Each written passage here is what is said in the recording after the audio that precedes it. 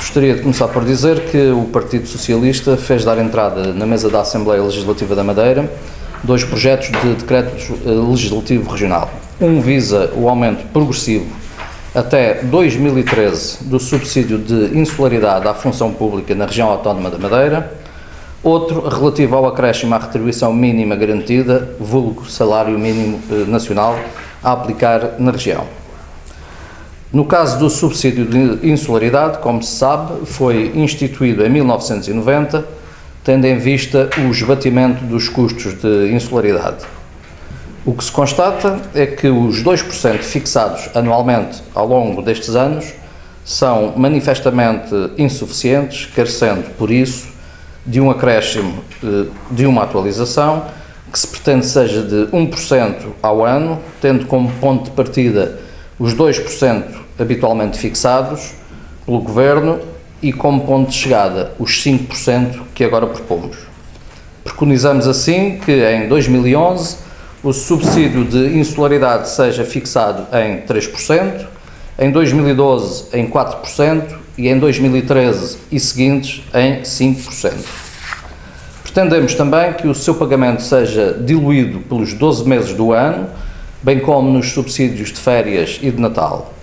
Quer o pagamento em 14 meses, quer o faseamento do aumento por três exercícios, visam atenuar o esforço orçamental exigido. Queremos, desta forma, repor alguma da justiça social perdida nos últimos anos. Finalmente, considerar que esta medida direta de apoio às famílias, por via do aumento do rendimento disponível, se justifica plenamente porquanto outras medidas indiretas, tais como a redução do IVA em 30% face ao resto do, do país e até mesmo relativamente aos apoios do POSEMA, não se têm traduzido num verdadeiro instrumento de combate aos custos de insularidade, sabendo-se até que o custo de vida na região autónoma da Madeira continua a ser, em média, 30% superior ao resto do país.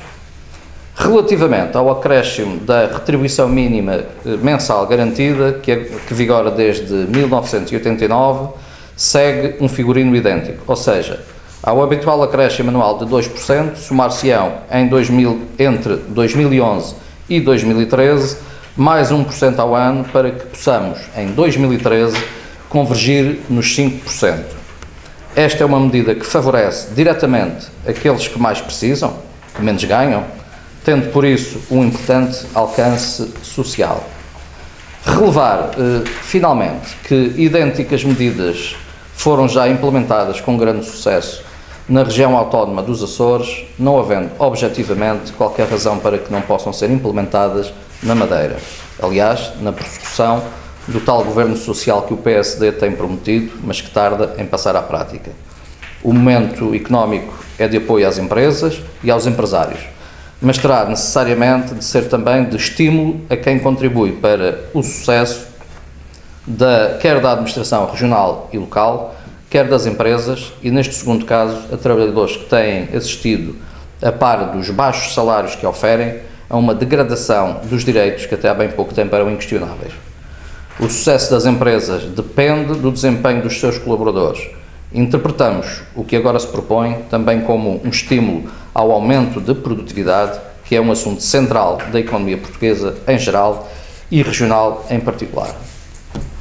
Eu tinha duas questões. Faz Primeiro, saber se está calculado o esforço financeiro que estas duas medidas representam e quantas pessoas eh, irão, irão beneficiar diretamente das mesmas. Repare, eh, sem, sem ter o um número exato, eh, em relação ao subsídio de insularidade, isto corresponde a um aumento de 150%.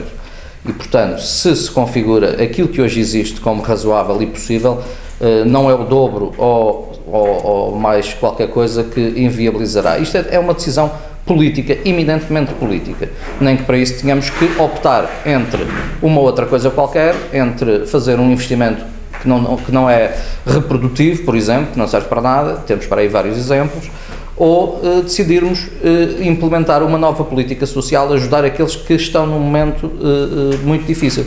E penso que tanto no caso dos funcionários públicos, porque é hoje sabido que os 2% que lhes é atribuído a título de subsídio de insularidade não cobrem necessariamente os custos de insularidade. e, portanto, urge ultrapassar esta questão.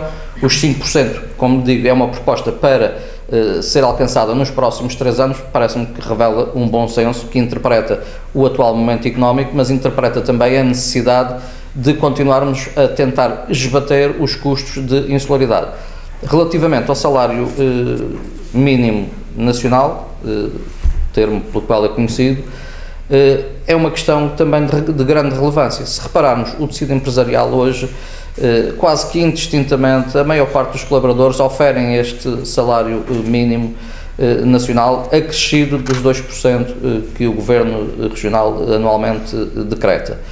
É sabido que eh, essas pessoas têm visto de facto os seus direitos eh, muito degradados nos últimos anos, desde trabalharem não as 8 horas que o contrato coletivo de trabalho preconiza, mas trabalhar 12, 13 horas e não ganhar sequer horas extraordinárias, eh, entre outros assuntos que, que são demasiado óbvios, toda a gente percebe, e portanto, nesta altura que é de crise, que é de reconstrução, eh, também sabemos que se aproveitam às vezes estas circunstâncias para degradar ainda mais as condições de trabalho, para exigir ainda mais daqueles que menos ganham e, portanto, isto tem que ser olhado com olhos de ver, vermos que as pessoas têm que trabalhar, mas têm que ser retribuídas honestamente por aquilo que fazem e é isso que se pretende.